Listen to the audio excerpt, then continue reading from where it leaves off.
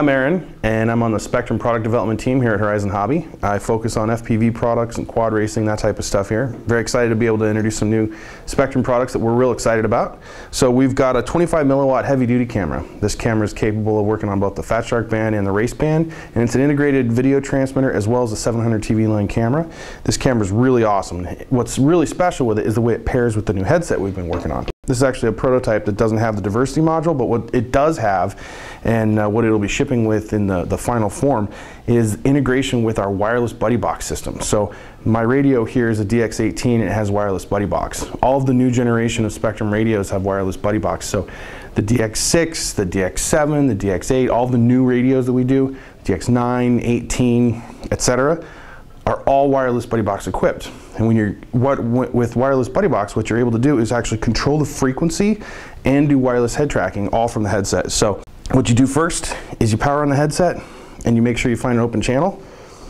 So I can see that yes, there's nobody there, nobody's using video because I don't want to stomp on anybody first. Then I power up the model.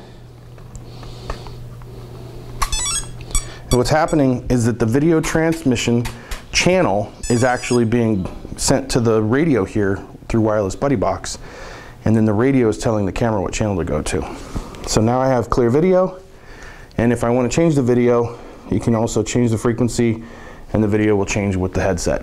You want to be real careful if you're going to be flying around other operators that you never change when someone else is flying but this system means that you'll be able to set up quad racers, put them out there, and as long as nobody else is flying, you can change channels and everybody can get set to go without having to push buttons on the model. It's really exciting stuff and it integrates together with wireless buddy box in a way that's never been done before.